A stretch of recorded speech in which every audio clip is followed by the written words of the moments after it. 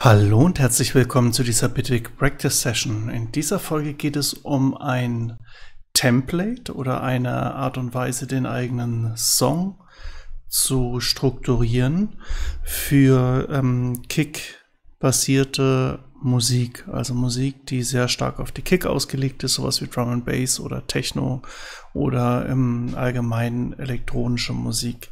Aber legen wir doch einfach mal los.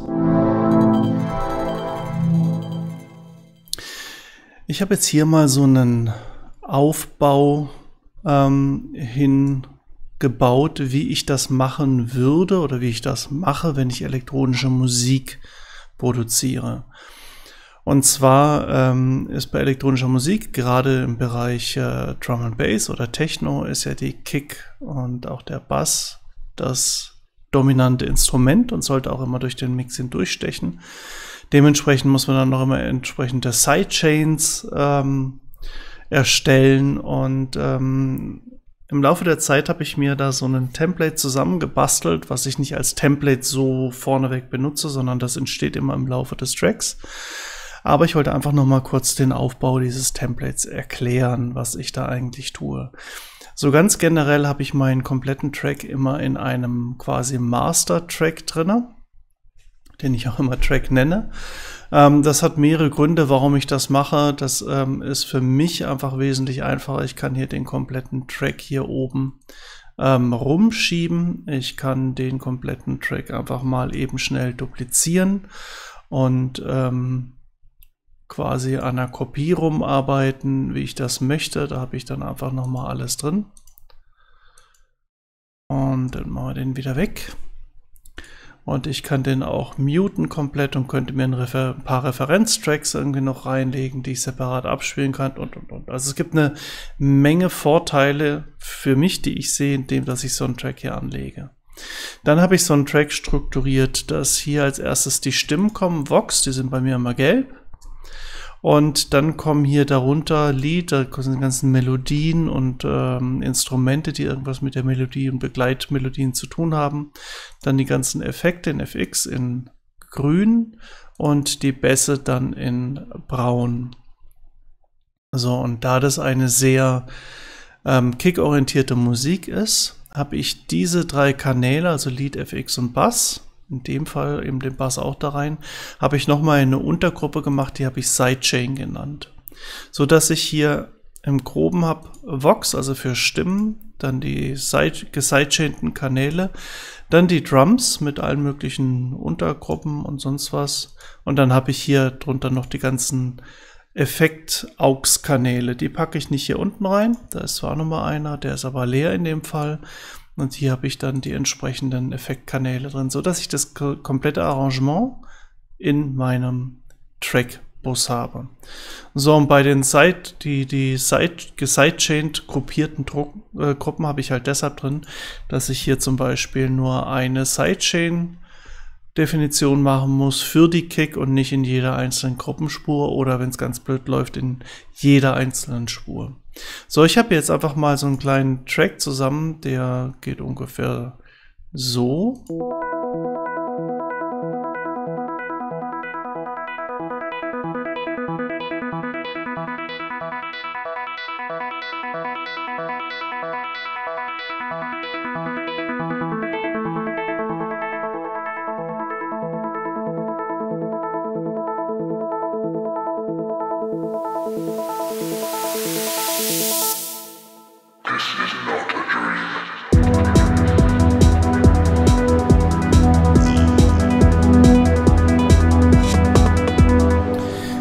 So, geht der Track dann weiter. Im Folgenden kommen dann Wiederholungen von dem Anfangsstück zusammen mit den Drums. So, und jetzt habe ich ja ähm, gerade eben erzählt, dass wir jetzt zum Beispiel so ein elektronisches Stück, ähm, wo die Drums ziemlich vorne sein sollten. Und wenn ich mir das jetzt hier so anhöre und, mir, und mal so auf die Drums mich konzentriere,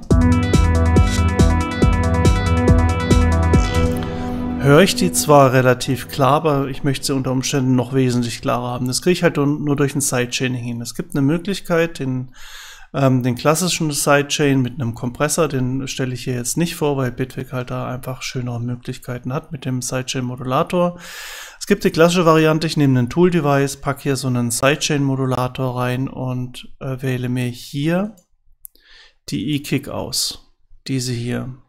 Und gehen wir hier wieder auf den Sidechain-Bus. Das heißt, ich habe hier die E-Kick ausgewählt mit einem Pre und jedes Mal, wenn die reinballert, ich mache das jetzt mal hier, drehe ich hier das Volume runter. So, und jetzt habe ich natürlich hier Rise und Fall, wie bei einem Kompressor, Attack und ähm, Release. Das ist überall so ein bisschen anders und jetzt kann ich einfach die, die Lautstärke hier runterdrehen. Und mit dem Release, mit dem Fall, kann ich jetzt zum Beispiel noch sagen, wie auffällig das sein soll. Und dann entsteht auch relativ schnell das Pumpen. Machen wir das gerade mal.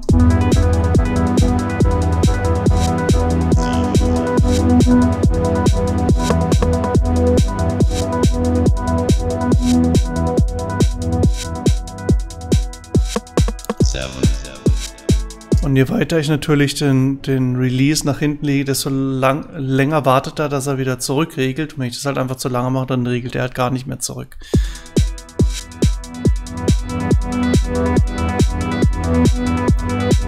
Das wäre jetzt so ein ganz typisches extremes Kompressorpumpen, das ich jetzt halt einfach mit dem Tool mache.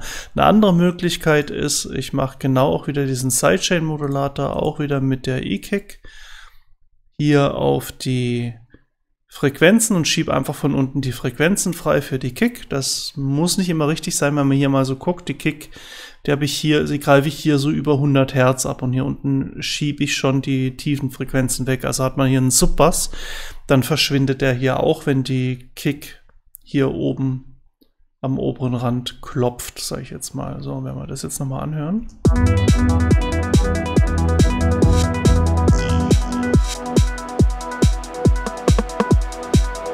Das pumpt dann nicht ganz so, aber man hört dann schon, dass die tiefen Frequenzen weg sind. Da pumpen nur die tiefen Frequenzen so ein bisschen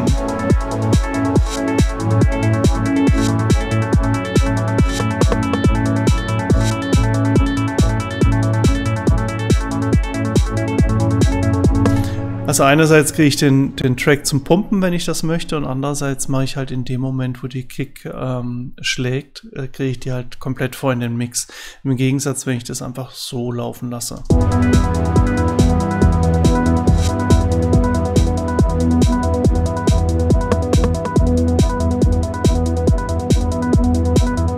Oder mit dem Tool-Device.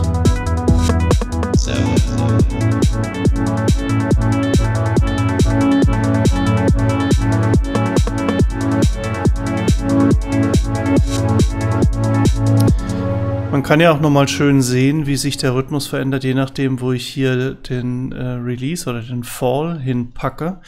Hm, gibt es einen schönen Rhythmus, ein schönes Pumpen oder es gibt halt einfach so, naja, geht auf und zu. Passt einfach mal auf. Das hier ist so ein bisschen der Sweet Spot, würde ich mal so sagen.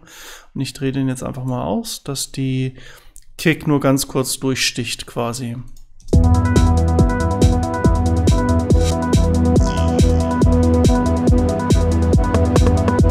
Gibt so ein Bang, Bang, Bang.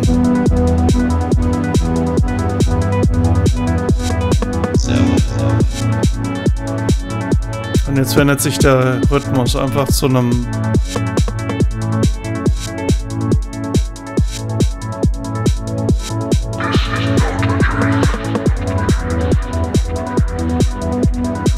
so in der Art. Also das heißt, ich kann hier schön meinen Sidechain für die Kick reinpacken. Wenn ich für die Bässe das noch haben will, dann kann ich den Bass auch nochmal separieren, können dann quasi zwei Sidechains für Kick und Bass, je nachdem. Wobei in dem Fall würde ich dann eher gucken, dass ich den Bass mit der Kick so ein bisschen ähm, vereinen kann und das Signal dann so ganz generell in den Mix sidechain kann. Also der, der Standard, Standard Template für so eine, ähm, für so eine Kick-orientierte Musik wäre halt bei mir eben, dass ich die ähm, die Sprache draußen lasse, weil die soll nicht gekickt werden. Die findet ihr auch meistens irgendwo oben bei, keine Ahnung, irgendwas 800 Hertz bis 3 Kilohertz oder so, 3,5 Kilohertz statt.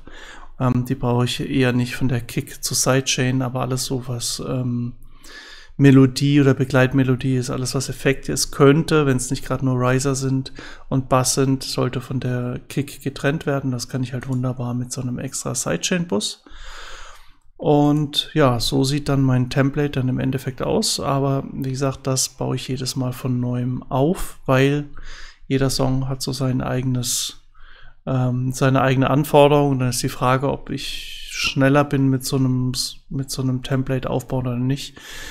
Ähm, ich für mich habe die Erfahrung gemacht, ich bin schneller in dem, wie sich der Song entwickelt, wenn ich da nicht an ähm, feste Strukturen ähm, festhalte, die ich vorgebaut habe. Ich gehe immer mit einem leeren Blatt los, so wie das von Bitwig auch kommt. Und bisher fahre ich sehr, sehr gut damit, dass ich das jedes Mal so anpasse. Ich habe allerdings halt, wie gesagt, so meine Farben und so meine Idee, meine Struktur, meine Organisation, wie ich da generell vorgehe. So, das war schon mit dem Video. Wenn es euch gefallen hat, dann lasst einen Daumen da, drückt die Glocke, abonniert den Kanal, teilt das Video und ähm, kommentiert stellt Fragen, stellt eure eigenen äh, Ideen drunter, das würde mich auch interessieren und ich hoffe, wir sehen uns beim nächsten Video. Macht's gut, bis dann. Ciao, ciao.